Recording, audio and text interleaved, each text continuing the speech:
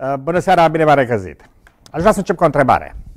Există un canon al Noului Testament și știu că întrebarea pare absurdă. Desigur că există, sunt cele 27 de cărți ale Noului Testament. Uh, nu chiar așa. În sensul că canonul bisericii creștine, dacă luăm ca dezvoltare istorică, a început mai întâi cu o canonizare a crezului, uh, canon pisteos, canonul credinței. Și acest canon al credinței, care transformă credința dintr-o expresie a unei speranțe lăuntrice și a unei revolte lăuntrice, chiar împotriva uh, unui întreg sistem uh, opresiv politico-religios, uh, devine regulă de credință. Cuvântul canon însemnează regulă. Și regula asta este stabilită de cineva.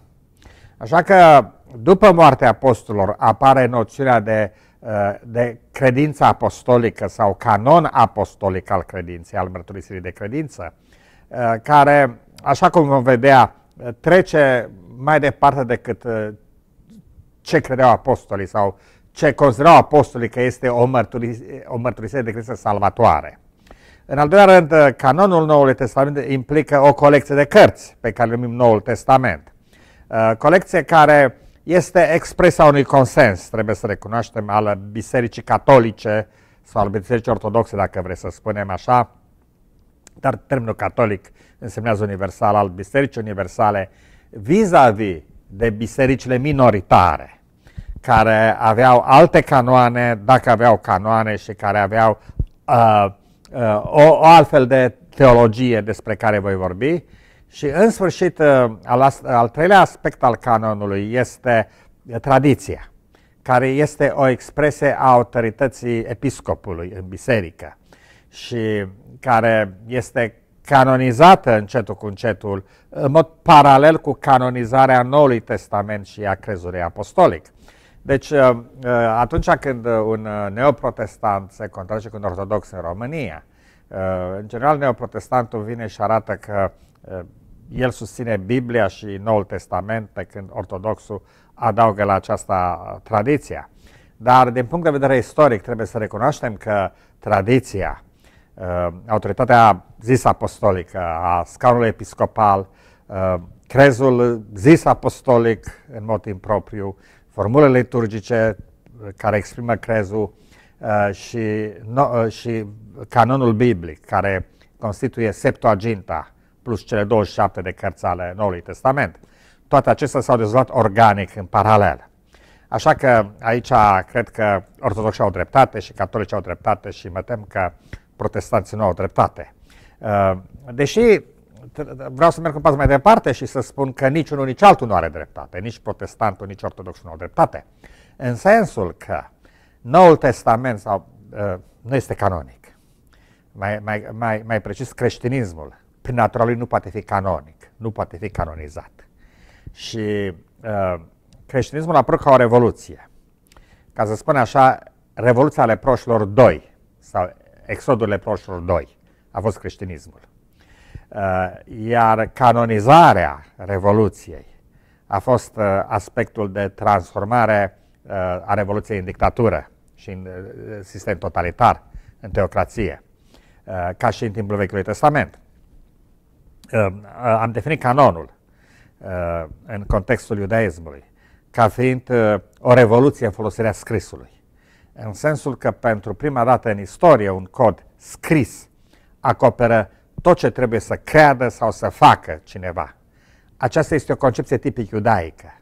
Ideea că uh, Tora reprezintă uh, o sumă a tuturor regulilor care trebuie să coordoneze credința, uh, concepția filozofică sau viața practică a individului este o invenție a iudeilor și uh, este faza în care revoluția leproșilor, revoluția iahvistă, care este o contestare a unei întregi ordini uh, politico-religioase a antichității, devine contrariul ei și devine ea însăși o formă de idolatrie a literei. Și un, o, o, o presiune asupra individului fără să aibă nevoie de o instituție politică, pentru că textul este suficient. Însă trebuie să recunoaștem că creștinismul nu a avut ideea aceasta a unei, a unei Biblii care să acopere totul, ci creștinismul mai degrabă a avut ideea unui crez canonic și după aceea a unui text canonic, a unei Biblii, care nu este suficient spre zbire de Tora, ci are nevoie de, nu numai de interpretări rabinice, cum avea Tora, care a fost niște exegeze ale Torei, dar dincolo de exegeza biblică, creștinismul are nevoie de dogmă, care uh, sunt uh, uh, formulări filozofice, bazate pe logică și rațiune.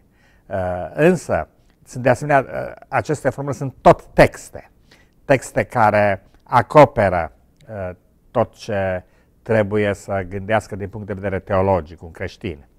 Dincolo de aceasta, în creștinism a existat, chiar în vremurile cele mai obscurantiste și în mijlocul celor mai teocratice momente ale bisericii creștine, a existat o libertate de gândire și o libertate a vieții. Încercarea de a descoperi în Biblie și mai ales în Noul Testament o regulă exhaustivă de, de viață și de filozofie și teologie uh, este ceva ce apare în protestantism și uh, este insuficient. Dar aș vrea să discut astăzi uh, această problemă a canonului în Noul Testament și de la început vreau să uh, introduc ideea că inventarea canonului în Biserica creștină este sfârșitul unei revoluții. Dacă luăm învățătura lui Iisus Hristos, uh, este foarte clar că această învățătură nu poate fi baza unei legi noi, nu poate fi legalizată, nu poate să fie uh, canonizată. Uh, există această sintagmă la mulți creștini neoprotestanți, mai ales la baptiști, că ei țin legea Noului Testament care locuiește legea Vechiului Testament. În timp ce adventiștii vor susține că legea Vechiului Testament nu a fost înlocuită, de fapt, sau nu a fost niciodată înlăturată.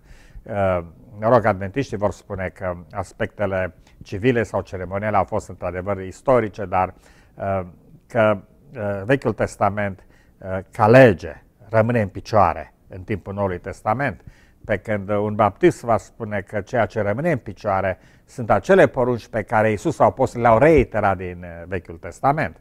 Ambele idei, în esență, sunt una și aceeași, anume că uh, creștinul este sub o anumită lege. Și tocmai esența creștinului constă faptul că creștinismul este anarhic. Creștinul nu este sub lege. Deci mă întorc la învățătura lui Iisus, ca să luăm exemplu clasic, predica de pe munte. Uh, dacă îți dă o palmă pe obrazul stâng, întoarce pe obrazul drept, întoarce și obrazul stâng. Da? Nu poți să faci o lege din aceasta. Pentru că dacă faci o lege, mai ori interzici rezistența, ori uh, mergi pe literalismul strict, uh, dacă îți dă o palmă pe obraz, întoarce obrazul celălalt, dacă îți dă un pumn, poți să, uh, să-i dai doi pumni, de exemplu, poți veni cu asemenea interpretare. Deci, uh, ideea unui canon implică, așa cum am spus, o formulă verbală exactă, uh, o definire foarte precisă în termeni juridici a datoriei omului uh, sau ceea ce trebuie el să creadă sau ce trebuie să spună, ori nu poți transforma predica de pe munte într-o, într-un astfel de uh, canon, în, într-o lege. Sau ideea dacă își cere să mergi o milă, mergi două, dacă își cere uh, cămașa de, de, de și haina, cine nu urește pe tatăl sau pe mama sa, nu-i vrenic de mine, uh, dacă ochiul tău te face să cazi în ispită, scoate-ți ochiul, uh, uh, ați auzit că s-a spus să nu uh, prea curvești, dar dacă cineva se uită după o femeie, uh, a și prea curvit în inima lui, uh, problema divorțului, cine își lasă soția pentru alt motiv decât prea curvie sau ea alta, a, a și comis adulter, uh, mai, mai departe, dacă mergem porunca dată tânărului bogat, vinde totul de la strat și urmează-mă, ceea ce caracterizează toate aceste afirmații lui Iisus este că nu pot fi luate literal niciodată. Sunt mai degrabă un izvor de inspirație, mai degrabă sunt instanțe extreme în care uh, ceea ce se exprimă este o anumită atitudine foarte radicală vis-a-vis de aproapele, vis-a-vis de religie, de societate, de Dumnezeu, uh, uh, într-un context foarte apocaliptic. Isus este un predicator apocaliptic care anunță împărăția lui Dumnezeu în generația lui. O împărăție apocaliptică care o să vină în generația lui. Și în contextul acestei iminențe a apocalipsei, toată, ideea este o atitudine foarte radicală de a face voința lui Dumnezeu, ignorând toate celelalte, dar voința lui Dumnezeu nu este definită ca lege aici. Uh, când Iisus spune nu va trece o iotă sau o frântură de slovă din lege, el de fapt ia argumentul farisei, care e foarte literalist. Iota și frântura de slovă sunt uh, uh, iudaismul prin excelență și sunt uh, fariseismul prin excelență. Însă Isus spune că nu va trece iota sau frântură de slovă din lege, însă face ca și iota și frântura de slovă să fie total irelevante în contextul unei atitudini foarte radicale, în care problema iotei și frânturii de slove dispare. Ați auzit că vi s-a spus, s-a spus celor din vechime, dar eu vă spun. Acum uh, vorbim despre uh, biserica creștină care a fost ucenicea lui Isus și singura poruncă care a dat Isus că a fost vină și urmează-mă. Deci Isus a făcut ucenici și uh, ceea ce caracterizează atât pe Petru, Andrei, Iacob, Filip și așa mai departe, cât și pe Luther sau Martin Luther King sau Uh, dacă vreți, un iezuit catolic uh, omorât uh, printr-o conspirație comună a lui Papa Ioan Paul al II-lea și a lui Reagan în America de Sud, fiindcă s-a dat cu marxiștii. Ceea ce caracterizează pe toți aceștia este că este considerat urmaș al lui Isus, deși cu siguranță că ignoră anumite dogme. Martin Luther King probabil că a fost hegelian și marxist mai mult decât, mai mult decât baptist și acel catolic marxist e, e, e foarte puțin loial canalul Bisericii Catolice. Dar uh, eu însumi mă consider un marș al lui Iisus, deși probabil că mulți mă consideră un apostaziat.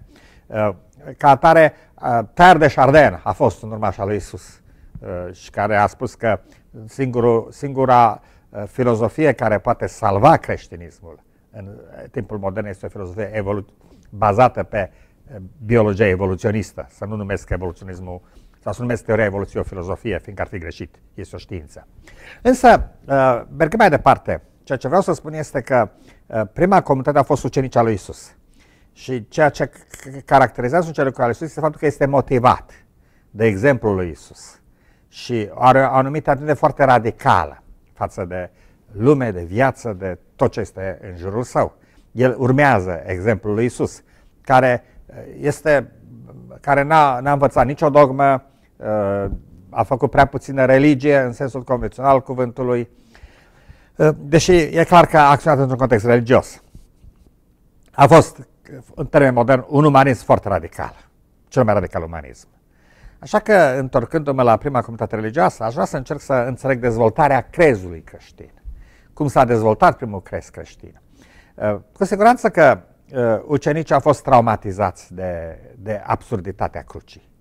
Isus a fost uh, un, o, un învățător dezinteresat, uh, plin de iubire, care a, s-a sacrificat toată viața lui pentru alții. Uh, indiferent care a fost, deta- care a fost faptele și realitatea în viața lui Isus. Evangheliile spun foarte puține lucruri și nu tot ce spun Evangheliile reflectă adevărul. Totuși, sunt lucruri pe care exegesii uh, imparțiale ai Noului Testament recunosc că în mod foarte probabil vin direct de la Isus ca cuvinte și ca fapte. Așa că uh, acest portret pe care Evangheliile fac lui Isus este într-adevăr al unui învățător unic. Să luăm de exemplu Buddha, Moise, Confucius și Mohamed, ca să fac un, uh, o cruce și eu aici, un patrat. Uh, uh, Moise a fost învățător al legii, uh, Mohamed a fost un teocrat, Buddha a fost un iluminat, Confucius a fost un învățător al unui ordin social-morale. Isus n-a văzut niciunul dintre toate acestea și a fost în opoziție cu toți, dacă ne gândim. Dacă merg pe partea cealaltă și văd cum au murit toți aceștia, Moise uh, a murit la bătrânețe și ni se spune că a murit în deplină putere. Uh, Buddha a murit, se pare, mâncând, mâncând uh, carne de porc râncenă, dar a murit zâmbitor, cu zâmbetul pe față, apreciat, respectat și bătrân. Mohamed a murit în uh, brațele favoritelui, în mijlocul haremului său. Uh, Isus a murit pe cruce ca un om blestemat. Dacă îl punem pe Isus în contextul lui iudaismului, iar și îl vedem în opoziție și cu templu și cu zeloții. Deci nu este niciun Uh, un uh, conformist, un uh, adept al sistemului politico-religios, dar nu este niciun zolet. zelot, fiindcă este împotriva violenței. Um, uh, faptul că un autor musulman care, mă rog, pozează în liberal, a scris o carte de curent despre Iisus numită de Zilot sau Zilot. Este mai degrabă o denaturare a misiunii lui Iisus. Iisus nu a fost un zelot, de fapt, a fost un antizelot așa cum a fost și împotriva sistemului și a pus mâna pe bici să răstoarne uh, afacerile de la templu, dar n-a fost totuși un revoluționar violent. Uh, pe de altă parte, Isus nu a fost nici un legalist ca farisei, nici un ascet ca esenienii. Isus a fost uh, împotriva toate acestea și diferit de toate acestea. Deci Isus are ceva unic în el și ceva foarte, foarte radical și sunt de acord cu definiția pe care o dă teologul uh, catolic Hans Kung, Isus a fost un umanism radical în ultima instanță. Uh, însă, uh, mergând la uh, ucenici, mai, întorcându-mă la ucenici, viața acestui om se termină cu o moarte pe cruce, ceea ce este absurd. Din punct de vedere religios îl pare blestemat, din punct de vedere social este o minință teribilă. Apoi nu este ceea ce merita Isus. Pentru un om care a trăit o viață de sacrificiu să fie răstignit. A fost un act de trădare. Probabil că ucenicii au fost într-o depresie teribilă. Uh, în ultima instanță, uh, și religia, și uh, dreptul roman, și poporul îl trădaseră toți pe Isus și ucenicii l-au trădat pe Isus și această trădare poate duce pe ceva la scepticism, la depresie, la cinism eventual. E bine, Isus, mi se spune, după moartea lui s-a arătat la mai mulți ucenici. Acum, eu nu vreau să intru aici într-o dispută cu privire la faptul istoric al învierii lui Isus. O să lasă uh, în acest seminar ceea ce nu poate fi tangibil demonstrat în afara discuției. Uh, însă, lucrul este sigur că uh, cei 500 care l-au văzut pe Isus, ca și primii ucenici și femeile, din relatările Evangheliei rese, că Isus s-a arătat mai degrabă în mod, haris, în mod, uh, uh, în mod uh, harismatic, să zic așa. Deci ca viziune, ca așa cum s-a arătat lui Pavel. Și faptul că foarte mulți oameni l-au văzut pe Isus după ce a înviat, nu însemnează că foarte mulți oameni s-au întâlnit cu Isus fizic, ci foarte mulți oameni au uh, revendicat viziune. Acum, indiferent, uh, bineînțeles că nu au spus că e o viziune, da? Dar au avut uh, o, uh, o o întâlnire cu Isus asemenea care a avut-o Pavel pe drumul spre Damasc sau călătoria Pavel la cer, despre care el nu știu dacă e în trup sau în duh. Cam așa au fost toate aceste artele ale lui Isus. De ce spune aceasta? Nu vreau să discut aici uh, aspectul istoric al învierii și al arătării lui Isus. Uh, faptul în sine că atât de mulți oameni uh, au pretins că l-au văzut pe Isus și l-au convins în ceea ce spun, arată că a fost o anumită forță Uh, o anumită forță psihic-spirituală care a acționat cu putere între ucenicii lui Isus după moartea lui, care în sine uh, este un eveniment istoric și în sine demonstrează ceva, că ceva este la lucru acolo. Și uh, uh, ceea ce dă sens acum ucenicilor, uh, ceea ce dă sens morții lui Isus, este faptul că, de fapt, Isus a murit ca să învieze, să fie la dreapta lui Dumnezeu și um, uh, ucenicii lui Isus din Iudea dezvoltă o nouă exegeză a Bibliei, a psalmului David în special, în care al, lui, uh, al robului lui Dumnezeu din Isaia, al mielului lui Dumnezeu, dacă vreți, în care toate acestea sunt reinterpretate care sunt la Isus.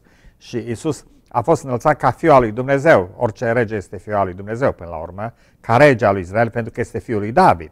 Tu ești fiul meu, astăzi te-am născut, sau Domnul a zis Domnului meu, și la dreapta mea până voi pune pe uh, dușmanele la picioarele tale. Aceste texte sunt reinterpretate, ca referindu-se la Isus. Și uh, ceea ce uh, este interesant, de exemplu, cartea Apocalipsei însuși, reprezintă această scenă când mielul ia cartea și o desigilează. Nu este altceva decât întronarea lui Isus ca miel înjunghiat pe tronul lui Israel. Deci, uh, iudeo-creștinii iau din imaginea Vechiului Testament al întronării unui rege și al legământului lui Dumnezeu cu regele pentru a, uh, uh, descri, a găsi aici prof, un tip și, bineînțeles, profeții ale unei întrări cosmice a lui Isus după moartea lui. Ca atare, primul crez creștin este simplu. Isus a murit pe cruce, Isus a înviat. Acest prim crez creștin, care apare foarte clar în 1 Corinteni, capitolul 15 și în, în epistola către Roman, capitolul 10, nu are decât două articole și nu este un canon, o regulă, ci mai degrabă expresia unei speranțe și a unei revolte. Și aceste două, uh, două articole care apar foarte clar în Teacul 15 este că Iisus a murit și Iisus a înviat. Nu se vorbește aici nimic despre, uh, despre nașterea din fecioară. Nu se vorbește nici măcar despre înălțarea lui Iisus. Uh, de fapt, aș vrea să spun ceva, există două texte în Biblie, în Noul Testament, care au intrat în așa numitul crez apostolic de pe timpul lui Constantin. Anume, este uh, uh, uh, înălțarea lui Isus și coborârea lui Isus în iad. Înălțarea lui Isus este descrisă într-un singur text uh, din Biblie de Luca, care a scris cel puțin o generație după, uh, după uh, prima generație de creștini. Și dacă nu chiar mai târziu. Iar coborârea în iad este uh, în a doua Petru, care într-un pasaj întreaga a doua Petru este sub semnul întrebării ca, uh, uh, ca fiind probabil un pseudograf. Însă cel pasajul acesta este luat din este inspirat de apocrifa lui Enoch și este un uh, pseudograf. Toți sunt de acord că, inclusiv catolicii, că nu aparține lui, lui Petru. Uh, deci, uh, sunt două uh, elemente care au intrat în crezul apostolic și sunt uh, toți avem impresia că aceste, uh, aceste uh, două uh, porțiuni ale crezului nu se bază pe niște texte marginale din uh, canonul Noului Testament, dar așa este de fapt. Uh, în principiu, în uh, primul crez, cel citat de Pavel, uh, nu se vorbește nimic despre nașterea din fecioară, nu se vorbește nimic despre înălțare. Se vorbește despre revenirea lui Isus, care implică, bineînțeles, înălțarea. Dar uh, Ideea uh, unui crez care să susțină cum Iisus a înălțat din mijlocul ucenicilor nu există la început. Însă ce vreau să spun este că acest crez nu este un canon, nu este o regulă, ci este o mai degrabă expresia unei speranțe și a unei revolte. De ce o revoltă? Pentru că uh, după dezamăgirea amară, când Iisus este trădat, când are loc un proces uh, farsă în care uh, autoritățile religioase care sunt părinții spirituali lui Israel, arată cine sunt ei în realitate atunci când îl condamnă pe Isus. În care, uh, să zic, cineva cu o cultură elenistă mai largă poate ar aștepta ceva de la justiția romană. Și justiția romană se arată incapabilă să, uh, să stea în picioare în fața unei presiuni politice exercitate de, altfel, undeva la, într-un colț al Imperiului, de un grup de preoți care sunt de fapt considerați uh, în mod semi-oficial dușmani ai cezarului. Uh, totuși, Pila nu este în stare să, să stea, să-și țină coloana dreaptă în fața lor. Toate sunt o profundă dezamăgiri, dar odată ce ideea înălțării lui Isus uh, și a revenirii lui, pentru că ei așteptau pe să vină prima generație, devin partea crezului, acest crez este deja un manifest politic pentru că creștinul refuză tot sistemul politic și religios uh, și consideră că uh, odată cu condamnarea lui Iisus pe cruce, întreaga lume a fost condamnată pentru că l-a condamnat pe Fiul lui Dumnezeu. Fac ca să merg mai departe, este refuzată o întreagă ordine socială, pentru că Isus este o persoană care face apel la prostituată, la lepros, la cel marginalizat social, la cel nefericit și Uh, îi trece cu vederea pe cei privilegiați. Așa că aici avem un al doilea exod al leproșilor. Spuneam că Revoluția monoteistă a fost descrisă de egipteni ca exodul leproșilor sau ca o revoluție a leproșilor care 13 ani au terorizat Egiptul. Și uh, putem înțelege de ce uh, monoteismul lui Egnaton a, a avut un apel la Uh, clasele marginalizate ale societății, care nu-și aveau loc în sistemul uh, cosmoteist al lumii antice. La fel înțelegem de ce ideea morții și învierii lui Isus, împreună cu învățătura lui care se adresează celor marginalizați. Dar această idee a morții și învierii lui Isus creează sau are un apel puternic și este baza unui manifest politic împotriva întregii lumi, împotriva Imperiului, împotriva Templului, împotriva claselor privilegiate, împotriva familiei, dacă vreți, care este, de fapt, structura de bază a puterii în Iudeea, împotriva gloatei, care se îndreaptă împotriva lui Isus. Uh, deci, uh, aici avem deja uh, un manifest care respinge sistemul. Este anarhic. Acum vreau să trec din Iudeea în lumea neamurilor. Este clar că ideea în Iudeea, dacă e vorba de un canon, Ehm, de exemplu, Iacob în uh, fapte 15 recomandă neamurilor din diaspora să rămână în legătură cu sinagoga, căci Moise este citit în sinagogi în fiecare sabat. Această legătură cu sinagoga, de fapt, este legătură cu legea, cu Tora. Și ideea este că în, în Iudeea, mă refer, ca și iudeii și neamurile, totuși să accepte în continuare canonul uh, Torei, pentru că Tora uh, conține instrucțiuni pentru iudeu, dar conține instrucțiuni și pentru neamuri în legile noachine și în ultima instanță iudeul este cel care este călăuzătorul celor fără minte și al celor călăuzaților orbi și povățuitorul celor fără minte, pentru că are în Tora dreptarul de plin al adevărului, cum spune cu ironie Pavel în epistola către romani. Așa că, ă, practic, iudeo, iudeo-creștinismul ă, rămâne cu, cu Vechiul Testament și în în diaspora Vechiul Testament este Septuaginta. Uh, însă uh, apare foarte curând în, uh, în între neamuri noțiunea că, Noul, că Vechiul Testament nu este un canon, nu este deci o regulă de viață pentru creștinii dintre neamuri și pentru creștinii în general. Lucrul să-l spuneți Pavel foarte clar și Pavel vine aici cu două idei. Prima idee este uh, Galaten 3 cu 10. Ori și cine vrea să ține legea trebuie să împlinească tot ce este scris în lege. Ca atare, uh, Pavel arată la absurditatea uh, păzirii canonului. Uh, cineva care vrea să ține tot ce este lege devine uh, parodia unui iudeu de ghetto, care nici el măcar nu ține tot ce scrie în lege. Dar uh, un evreu de ghetto este o, o persoană care, începând cu scritorii satirici din perioada elenistă, greci sau romani și, mă rog, continuând dacă vezi cu Shakespeare și cu, alți, cu scritorii din perioada iluministă și a secolului XIX-20, iudeul de ghetto a fost totdeauna privit cu ironie și cu dispreț, uh, pentru că s-a dezumanizat, practic, devenind un instrument al unui text uh, închis. Uh, întorcându-mă deci la problema uh, lui Pavel, Pavel spune, dacă vrei să ții legea, ține-o pe toată. Lasă, nu stai acorțul de bărbii, agață cicuri de haine, nu atinge nu gustanul lua, uh, circumcide-te, ține-le pe toate. Dacă însă ții legea, Iisus nu-ți va folosi la nimic. Și Pavel uh, vine cu o altă noțiune, cea a Duhului care se opune Slovei. Aici este al doilea lucru care vreau să subliniez, Pavel spune foarte clar că slujba Slovei omoară, pentru că în slujba Duhului de viață. Pavel folosește și o metaforă.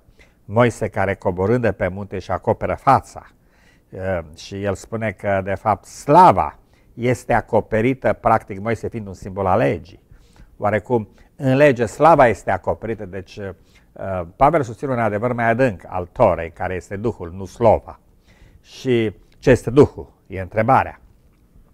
Pentru că uh, uh, ceea ce vreau să spun este interesant este faptul că Pavel, de fapt, identifică Duhul sau slujba Duhului uh, ca adevărata slujba creștinului, ca adevărată închinare a creștinului. Și în repetate rânduri Pavel opune litera cu Duhul. Și în Roman capitolul 8 spune că legea Duhului de viață în Hristos m-a slobozit de legea păcatului și a morții. Ce este Duhul? Uh, mi se pare interesant că, în mod sigur, Pavel se referă aici la un termen, o noțiune din Vechiul Testament, Duhul lui Dumnezeu. Dar un lucru care scapă în toate traducerile moderne este că roah, tradus prin Duhul, care poate să însemneze ceva la fel de necesar și subtil ca aerul pe care respiri. Uh, suflarea de viață este roah. Aerul este prezent peste tot, dar este subtil, mai ales pentru un, uh, un, uh, un, cineva din antichitate. Aerul este ceva prea subtil ca să-l poți defini. Ei nici măcar nu știu că există, dar penetrează totul fără să existe. E transparent, e inodor, e incolor, însă îl simți oarecum. Vântul bate de unde vine, spune Iisus, de, de unde vrea, spune Iisus, dar nu știu niciunde, de unde vine, niciunde merge. Și uh, Iisus, de fapt, nu știm de unde vine, vin de unde merge, mă rog, cântărim aerul, nu asta o problemă pentru noi. În context istoric, Iisus nu spune aici un adevăr pe care trebuie să-l acceptăm ca adevăr științific, ci folosește uh, un termen, termenul de duh sau vânt, care este același lucru la evreu, și anume uh, nu poate fi controlat. El bate, vine de unde vrea, se duce unde, merg, unde vrea. Uh, nu poți să-l controlezi. Uh, nu știi de unde vine, nu știi unde merge. Dar îl simți, este permanent prezent. În același timp, Duhul poate fi o furtună puternică, cum apare în Geneza că Duhul se mișcă deasupra apelor. Ideea este că Duhul era un vânt puternic care bătea deasupra apelor. Însă, ceea ce vreau să spuneți este faptul că acest Duh Roach este un substantiv feminin. Și uh, este foarte interesant pentru că Jehova în, nou, în Vechiul Testament apare ca un patriarh, are barbă, e clar că Jehova are barbă, da? Este președinte patriarhul masculin. Chiar și la Israel se relatează ca la o femeie, ca la o soție, ca la o sclavă, în Ezechiel eventual, o fată tânără, cam, aproape ca în felul lui Mohamed, ia o fată tânără și o crește ca să fie iubita lui de aceasta sau soția lui de aceasta îl trădează um, și elementele sexuale sunt foarte, foarte grafice în uh, astfel de texte. Deci, Jehova apare ca un patriar, apare ca bărbat pe excelență, ca tatăl. În um, cea mai umanizată expresia lui Jehova este cea de tată, dar în Vechiul Testament, în mod special, este un monarh. Pe când um, Duhul, Roach, apare că este o femeie, e feminin. Și spune acest lucru Uh, pentru că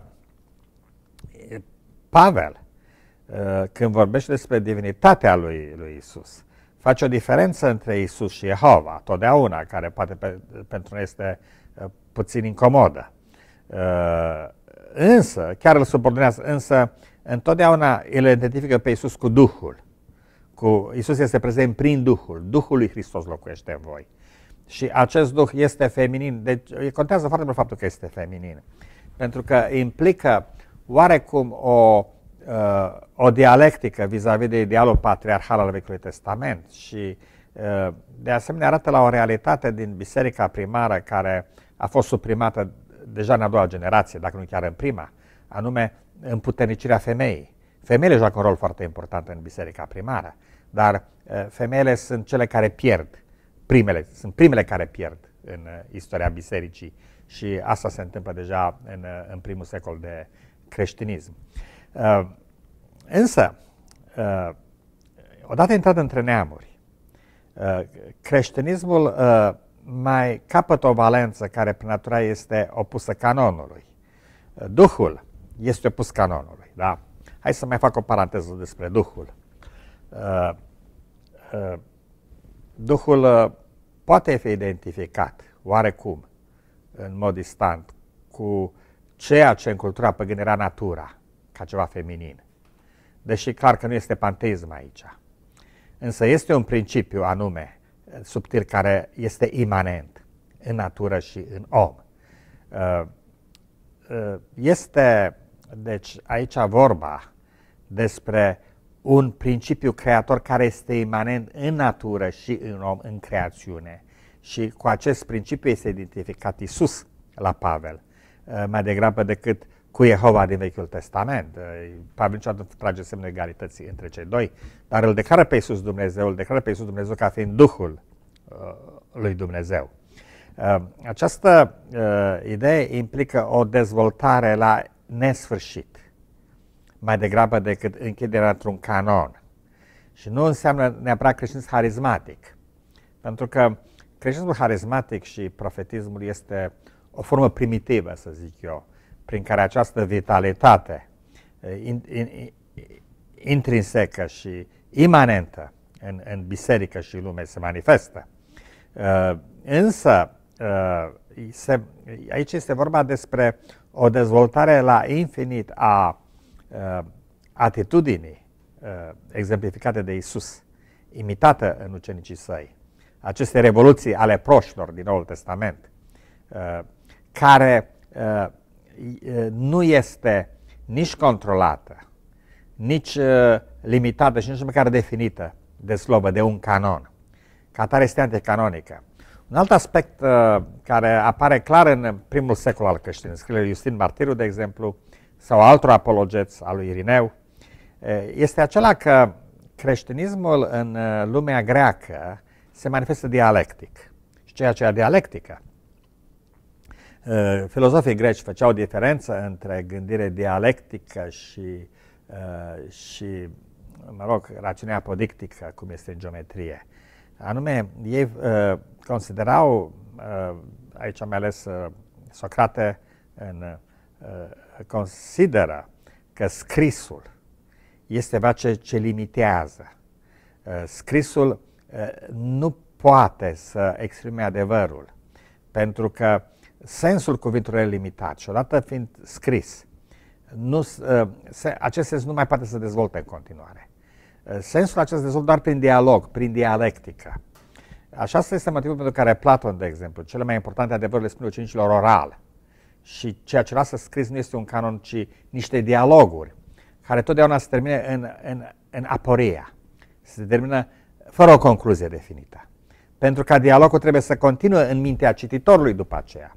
Uh, deci, uh, ceea ce cred grecii este că adevărul nu poate fi niciodată cuprins într-un text scris și este nevoie de o dezvoltare permanentă a unui dialog, a unei dialectici.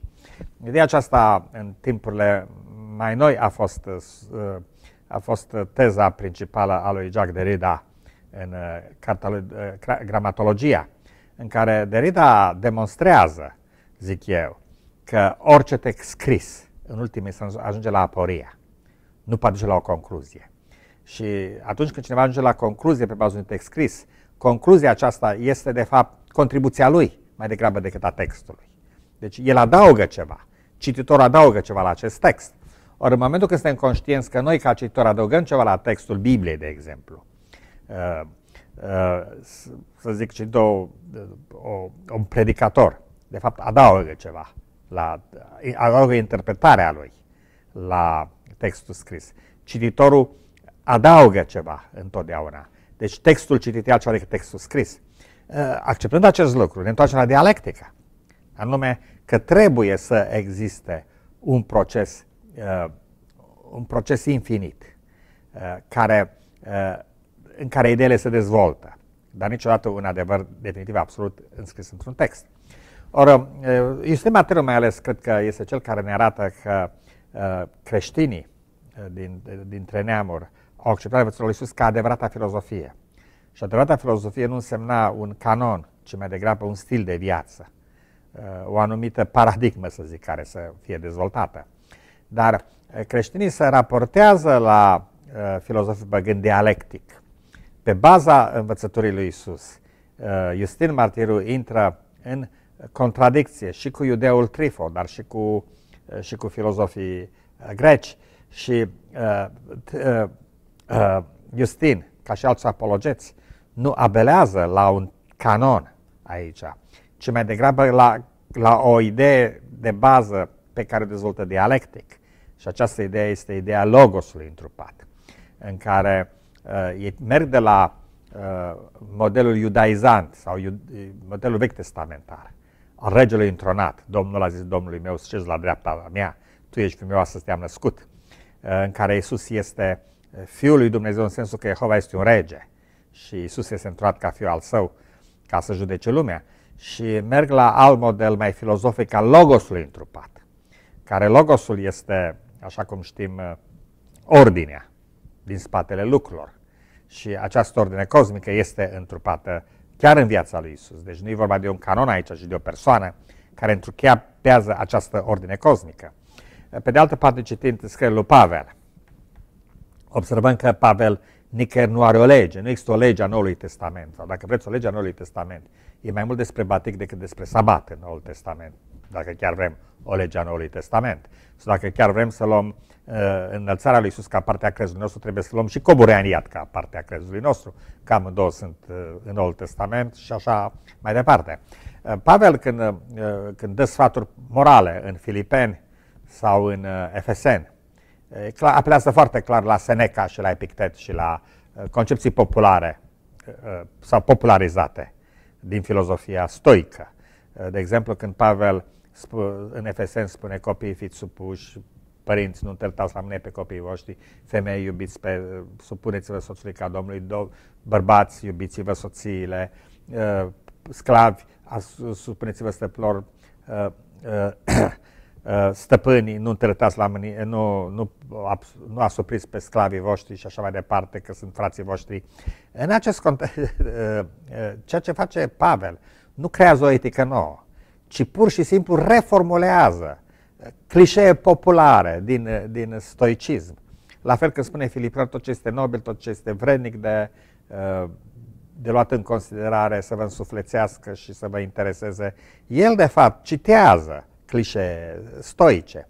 În alte părți însă Pavel citează din Tora și probabil că uh, aici depinde de context. Acolo unde există o comunitate puternică iudaică și unde influența sinagogei puternică, Pavel citează din Tora. Acolo unde uh, iudaismul nu este, nu este influent sau poate și măcar nu este bine văzut, Pavel nu-și face o promesă să citeze din stoici, dar cert este că nu există o lege a Noului Testament.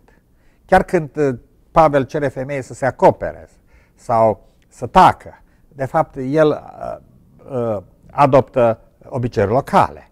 Uh, și uh, ceea ce aduce Noul Testament nou nu este o etică nouă, ci mai degrabă uh, o anumită bază nouă a, pe care este pusă această etică. Și această idee a frăției tuturor oamenilor, de exemplu, sclavul și stăpânul sunt, sunt, sunt uh, frați, uh, soțul și soția sunt egali, sau bărbatul și femeia sunt uh, una în Hristos, uh, uh, copiii vor moșteni uh, viața veșnică cu, cu părinții și uh, ideea aceasta a omului universal uh, și a iubirii, ca lege supremă, uh, a Duhului care dezvoltă la infinit, este mai degrabă baza eticii lui Pavel, dar ca prescripție etice nu există. Uh, uh, nu există, de fapt, o etică originală a Noului Testament. Nu există o lege a Noului Testament, ca să zic așa. Așa cum crezul Uh, singura regulă de crez, singurul canon al crezului, poate fi că Iisus a murit și a înviat. Însă, în același timp, acesta nu este un canon, nu este o regulă, ci mai degrabă este expresia unui crez personal. Și, așa cum am spus, pe această bază, creștinii abordează dialectic și, uh, filozofia greacă și uh, justiția romană uh, și iudaismul. Însă, uh, apare o problemă. În mijlocul creștinismului apar deja contradicții. Și principala opoziție care apare în creștinism este gnosticismul. Ce face gnosticismul, în esență, este, fapt, este uh, aceea că anulează istoricitatea lui Isus. Isus devine un personaj anistoric, în sensul că ei recunosc evenimentul crucii, dar doar ca, uh, o, simplă, uh, ca, ca o simplă simulare. În sensul că întruparea lui Isus nu a fost un eveniment real, ci un eveniment simulat. Și crucea a fost un eveniment simulat. Așa că uh, Dumnezeul Vechiului Testament, care este un Dumnezeu care se implică în istorie, trebuie să recunoaștem că Jehova se implică în istorie. Acesta e Dumnezeul profeților, care este implicat în timp și în istorie. Uh, și Dumnezeul Noului Testament uh, sunt total divorțați unul de altul. Ferește că, așa cum arată Marcion, există destule probleme cu Dumnezeul Vechiului Testament, însă Uh, această divorț al gnostic între Dumnezeul Vechiului Testament și Dumnezeul Noului Testament, de fapt însemnează un divorț al lui Dumnezeu din istorie și din natură. Natura este cu totul lăsată pe seama uh, demiurgului. Uh, Iisus, de asemenea, fiind trimis de Dumnezeu în Noului Testament, e divorțat complet de lumea reală, este singura misiune a lui Iisus este să ne inițieze în gnoză, în învățătura secretă, care ne duce la mântuire și Marcion, care este oarecum un gnostic, zic oarecum un gnostic, uh, pentru că, uh, mă rog, este un gnostic, dar uh, există mai multe școli gnostice. Marcion nu consideră că Isus a fost o iluzie sau că, uh, uh, dar uh, în mod clar face diferență între Vechiul Testa- Dumnezeu Vechiului Testament și Dumnezeu Noului Testament. Și Creatorul lumii este Dumnezeu Vechiului Testament. Așa că Marcion este primul care propune un canon al Noului Testament, care este Evanghelia după Luca și câteva din epistolul lui Pavel. Iar biserica replică și biserica, ceea ce face biserica arată că există o continuitate între Vechiul Testament, între Vechiul Legământ și creștinism și uh, uh, biserica are un consens cu privire la 27 de cărți care sunt considerate apostolice și care uh, sunt canonice. Acum, ce vreau să subliniez acum, când am spus canonice, uh, e clar că biserica mai întâi transformă crezul într-un canon și există un crez canonic, care mai târziu implică și nașterea din fecioară și înălțarea lui Isus și cobrarea lui în iad. Toate acestea și, bineînțeles, revenirea lui și uh, toate acestea sunt elemente noi, uh, care firește ca o bază în canonul Noului Testament. Sau probabil tocmai din cauza acestea sunt aceste cărți selectate, fiindcă sunt baza acestui crez nou.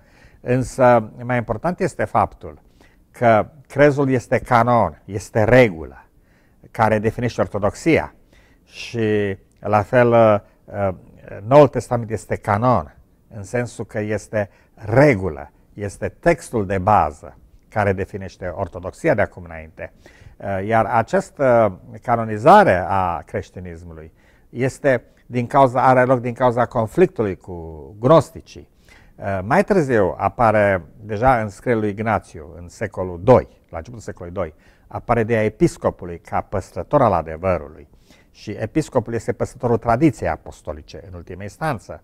Ideea asta apare deja și în scrisoarea lui Clement uh, uh, din Roma către Biserica din Corint, care este cel mai vechi text, contemporan cu apostolii, de fapt. Deci, ideea tradiției se înfiripează deja în, în primele secole și atunci când creștinismul devine religie de stat în, în Imperiu, uh, tra, uh, tradiția mea este dogma Trinității și canonul biblic, care este uh, nu tipărit, bineînțeles, dar Constantin însuși cere să se, să se creeze 50, 30 de, nu, 50, 50 de, de cărți, de Biblii, care să fie citite în Constantinopol, în biserici. Uh, deci ca, canonicitatea Bibliei, a crezului apostolic, a tradiției apostolice, deja are, este un factor politic uh, puternic. Um, vreau să merg puțin mai departe în această istorie sumară, pentru că în timpul evului mediu canonul este acceptat, dar în același timp există uh, permanente discuții filozofice, logico-filozofice, încercând să definească uh, în ultima instanță care trebuie să fie regulile pe care să numeze un creștin în gândire și în viață, pentru că niciodată lucrurile acestea nu apar clar din canonul creștin, nici din tradiție, nici din care este împărțită în est și vest, nici din uh, Biblie, nici din uh, uh, crezul care este de acum liturgic. Și uh, lucrurile astea merg până la, la uh, criza nominalistă. Uh, Luther este cel care uh, redeschide problema canonului. Uh, Luther respinge tradiția, uh, respinge orice hotărâre bisericească ca fiind uh, limitată ca autoritate și uh, revendică principiul uh, sola scriptura în sensul în sensul că Luther pe undeva, pe undeva zic, redescoperă caracterul anarhic al creștinismului primar. Uh, individul care singur cu Biblia în mână hotărăște ce să creadă și ce să nu creadă, ce să facă și ce să nu facă cu viața lui. Luther nu, să, nu să sfiește, să țină pregi, să dea sfaturi, să uh, discute teologie, dar în principal Luther recunoaște acest, uh, acest, uh, uh, acest principiu al in, individului uh, care este un subiect absolut, odată ce l-a primit pe Hristos. Este o voință infinită, odată ce l-a primit pe Hristos și uh, acest individ uh, în care locuiește Duhul Sfânt, uh, acest individ care uh, nu, uh, nu este limitat acum de cultură și circunstanțe istorice din cauza de pocăinței și a primirii lui Isus. Uh, el, acest uh, creștin născut din nou, citește Biblia și își hotărăște singur norma de viață. Asta e libertatea creștină în concepția lui Luther. Uh, întrebarea însă este ce face cu canonul? Luther traduce Biblia din ebraică, exclude apocrifele, are îndoiel cu privire la Apocalipsa și Iacob și Iuda, dar le păstrează totuși ca marcorolog la marginea canonului. Însă când e vorba de un text, de un canon uh, al creștinului, care este acel canon, care este acel text care să definească crești, uh, creștinismul și ce, ce înseamnă să fii creștin? Uh, pentru că apare acum o idee nouă, a lui Erasmus de Rotterdam. Și Erasmus, care este părintele umanismului creștin, consideră că creștinismul în ultimă instanță nu consideră altceva decât în imitarea lui Isus și în aspectele practice. Deci uh, Erasmus se întoarce în mod clar la acel umanism radical al lui Isus. În timp ce Luther, iarăși se întoarce la acea idee a unui individ care este un subiect absolut în fața istoriei, a istoriei mântuirii și a istoriei seculare. Uh, total autonom, total independent. Și ce, ce trece este o contradicție. Și uh, ca să fac istoria scurtă, Luther susține că această subiectivitate infinită care este omul uh, este urmarea unirii uh, omului care se pocăiește, care face metanoia cu Isus prin Duhul Sfânt. Și Biblia, ca atare, este un instrument pe care el îl folosește, uh, condus fiind de, de, de Duhul Sfânt. Luther, vreau să spun în mod foarte clar, respinge ideea că creștinul în timpul Noului Testament e sub legea iudaică, dar nici nu încearcă să găsească o lege în Noul Testament, ci mai degrabă merge pe principiile legii naturale, care se descoperă prin rațiune și prin bunul simț, spre de catolici. Catolicii uh, susțin legea ca autoritate din exterior, din Jehova, și o, uh, o transmutează în contextul Noului Testament așa cum fac și unii neoprotestanți. Însă Luther nu are această problemă. Erasmus se susține cu altă idee. Și Erasmus susține că această libertate a voinței, această subiectivitate infinită, vine de la creațiune, de fapt. Este intrinsecă omului. Și ca atare, creștinismul însemnează, creștinismul nu aduce o nouă putere în om, cum susține Luther, ci creștinismul mai repede aduce o nouă influență, un nou exemplu, o nouă filozofie. Asta este ideea lui Erasmus și este umanismul creștin. Uh, problema este că uh, Luther, până la urmă, anarhismul lui Luther nu poate duce prea departe, pe când Erasmus deschide o cale. Și ca să spun așa, uh, creează în ghilimele un nou canon, care este umanismul creștin și care se pare că are un viitor și de roade în Europa de vest. Dar să mă întorc mai la la problema protestantismului. Ce se întâmplă o generație după Luther? În fața contrareformațiunii care reafirmă și autoritatea celor 10 porunci, uh, autoritatea absolută a celor 10 porunci, uh, în versiunea catolică, uh, și o lege a Noului Testament și o lege a tradiției, deci contrareformațiune reafirmă canonul. Și vreau să subliniez ceva la contrareformațiune care nu este știut. Contrareformațiunea reafirmă principiul sola Scriptura. Contrareformațiunea respinge scolasticismul, care fusese respins și de Luther și de Erasmus, cu speculațiile filozofice. Uh, și contrareformațiunea uh, reafirmă principiul sola Scriptura, mergând pe filozofia Toma d'Aquino, că există legea naturală și legea revelată, dar legea revelată uh, se supraordonează legii naturale. Și această lege revelată este în Biblie. Dar bineînțeles că Biblia nu e suficientă, e nevoie și de tradiție aici, de autoritatea, de instituția apostolică uh, a bisericii și de autoritatea bisericii, de scaunul papal, de cardinal, de preot și așa mai departe. Uh, în principiu, uh, contrareformațiunea nu este o afirmare a tradiției vis-a-vis de Biblie, ci este o întoarcere la, la ideea de canon, care este afirmată explicit, așa cum nu fusese niciodată afirmată atât de explicit în istoria bisericii, poate pe timpul Constantin, dar este reafirmată mai explicit, mai puternic, această idee a canonului, care conține Biblia, tradiția și crezul apostolic. Luther nu, nu, nu susține un canon în fața, în fața Bisericii Catolice, ci Luther susține sola Scriptura, așa cum am spus, ca un instrument și o inspirație a creștinului care el însuși, născut din nou, dacă vreți, umplut de Duhul, unit cu Isus, este în ultima instanță judecătorul care decide cu privire la viața lui. Și folosește Biblia ca o resursă, mai repede decât ca o regulă care se impune din afară. Citiți, dacă nu credeți aceasta, de exemplu, prefațul Luther la Epistola către Romani, unde este foarte clar. Luther face diferență între faptele legii, care este o regulă venită din afară, și împlinirea legii, care vine ceva din lăuntru, chiar dacă este inspirată din afară de Biblie sau exemplul lui Isus. Uh, însă, ce se întâmplă cu protestantismul? Protestantismul în fața catolicismului simte nevoia unui canon. Dar protestantismul nu poate să apeleze la tradiție, că n fi protestantism. Și atunci, protestantismul încearcă să facă din Biblie, din sola Scriptura, un canon. Nu vreau să spun că n-a rămas ideea de canon. Uh, Biblia a rămas canonică, însă uh, reiterez ideea că uh, canon însemnează un text scris care să acopere tot ce este necesar pentru viață, pentru credință, pentru închinare, pentru teologie, filozofie, lucru pe care trebuie să recunoaștem că chiar nici Biserica Catolică n-a mers în extrem în privința aceasta. Uh, însă protestantismul uh, se întoarce la iudaism și cu excepția că adaugă Noul Testament la Vechiul Testament.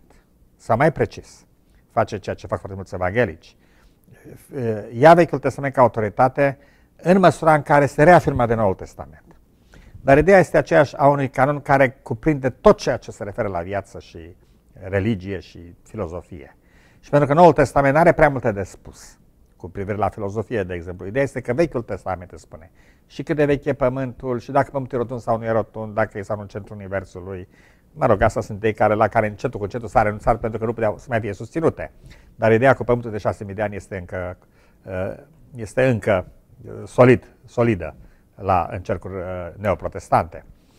Și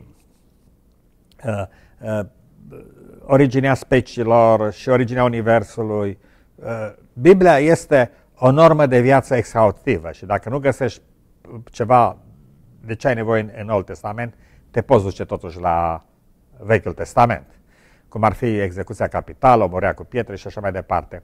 Deci această idee a unui, unui canon care să fie regulă exhaustivă de viață, credință, religie, este reafirmată în mod mai radical decât contrareformațiunea de neoprotestantism. Aș spune că de la Wesley începe adevărata contrareformațiune în protestantism. Așa cum începe și un alt aspect de care voi discuta mai târziu, acela al transformării protestantismului într-o extensie a capitalismului, într-o religia banului. Dar asta este pentru altă dată. Apare însă un alt aspect care aș vrea să-l discut în încheiere. Uh, lucrul acesta apare deja în, pe timpul lui Mohamed, anume, uh, Biblia, Vechiul Testament ca și Noul Testament, se dovedește insuficient pentru o, a crea o teocrație universală. Și atunci Mohamed uh, vine cu Coranul, care este o extindere a canonului Vechiului Testament. De fapt, este adevăratul canon, că e dictat direct de Allah sau de Îngerul Gabriel, pe când uh, uh, Vechiul Testament, ei recunosc că uh, Tora sunt porunci care au fost date de Dumnezeu lui Moise, dar profeții totuși sunt oameni și au scris inspirați, dar nu, nu este inerant. La fel, Noul Testament e considerat inerant, deși recunosc pe Iisus ca un mare profet, însă se uită tot în Coran să găsească adevărul despre Isus.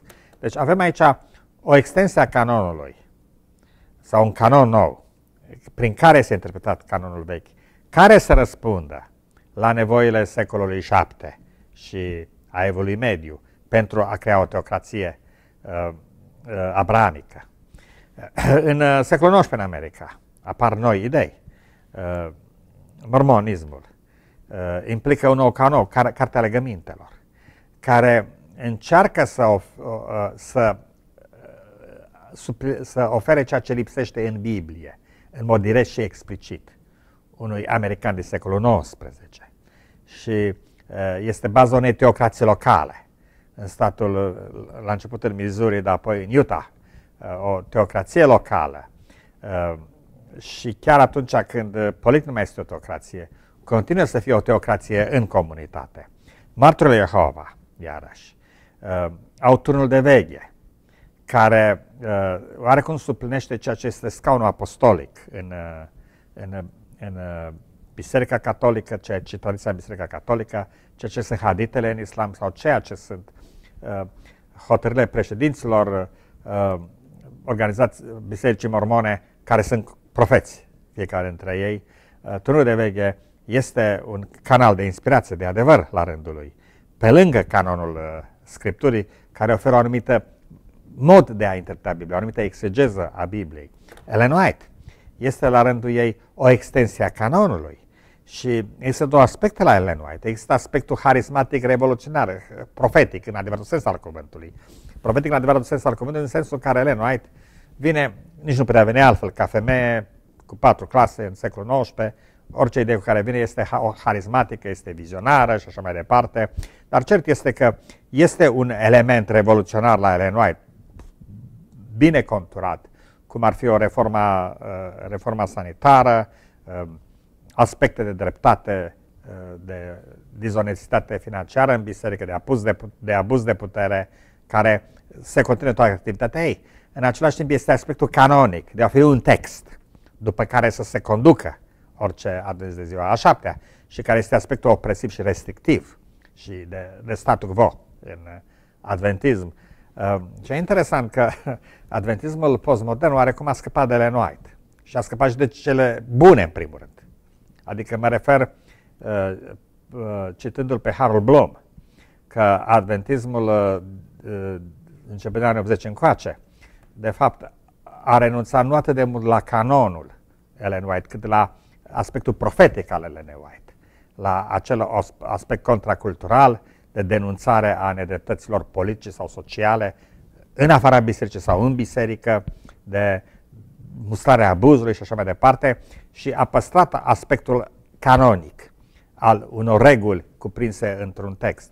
Însă, cert că adventismul uh, în timpul nostru uh, dezvoltă o, o nouă formulă de tradiție apostolică, ca să zic așa, de scaun apostolic, uh, un crez numit cele 28 de puncte, care de fapt nu sunt altceva decât o formulă de, nouă de dogmă.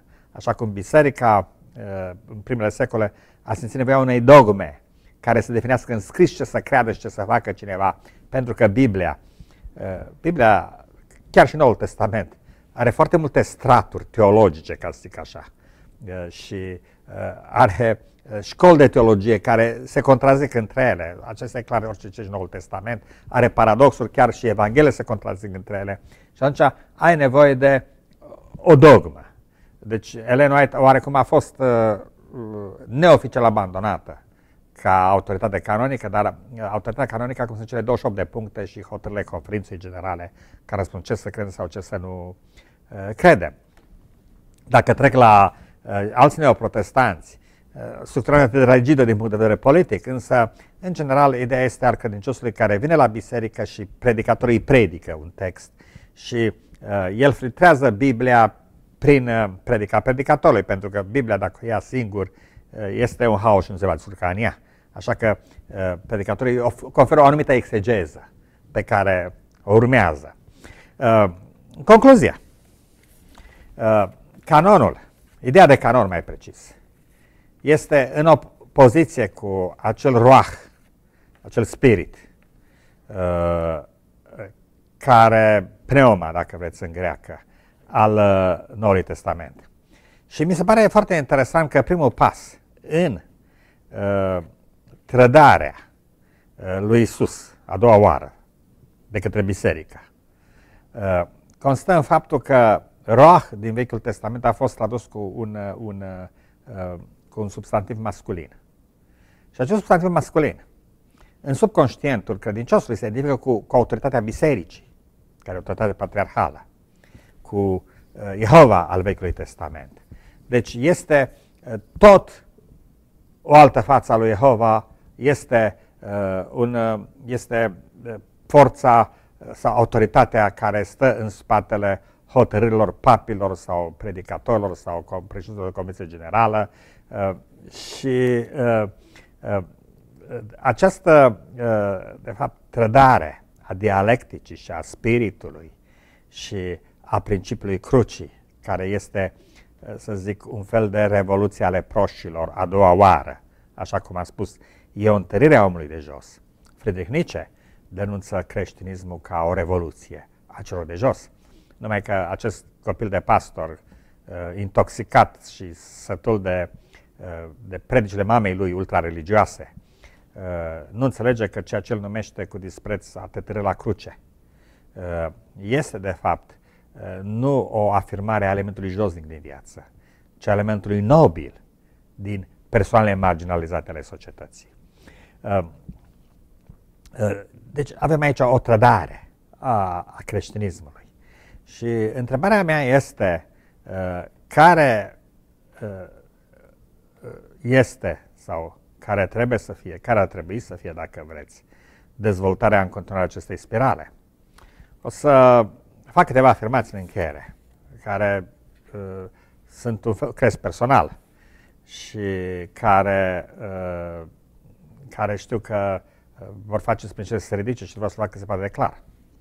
Uh, 1. Deci mă refer la, la începutul modernității, la contradicția între Luther și Erasmus.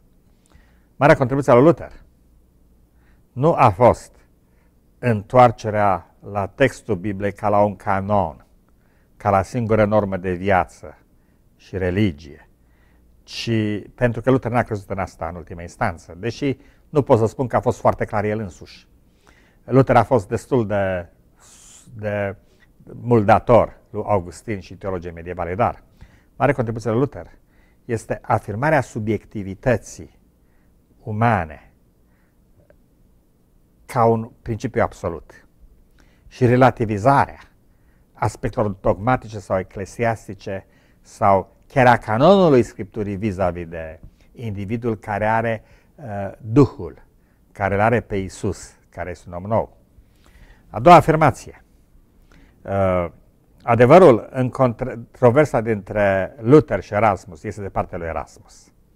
Uh, singurul mod în care ideea creștină sau esența creștinismului, așa cum s-a manifestat în prima generație, într-o explozie de speranță, dar și de revoltă împotriva unui sistem politico-religios, și care a fost, zic eu, această a doua, al doilea exod, a doua revoluție ale proșilor, a fost o reiterare a primei revoluții ale proșilor, exodul, uh, care apoi se afirmă în scrile profeților, ca o solie a eliberării, ca o manifestare a eliberării, în via- ă, a eliberării lăuntrice și eliberării sociale.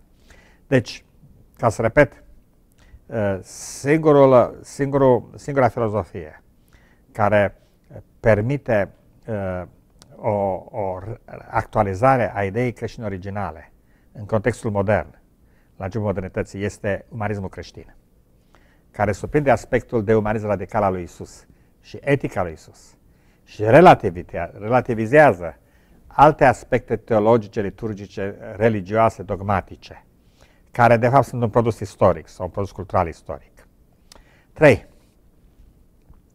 Uh, Tear de Chardin. O să citesc o afirmație lui Tear de Chardin. Singurul lucru care, sau singura filozofie care poate salva creștinismul este teoria evoluției. Uh, teoria evoluției nu este o filozofie, este o teorie științifică, este un fapt științific. Între teorie științifică și un fapt științific nu există o prăpastie.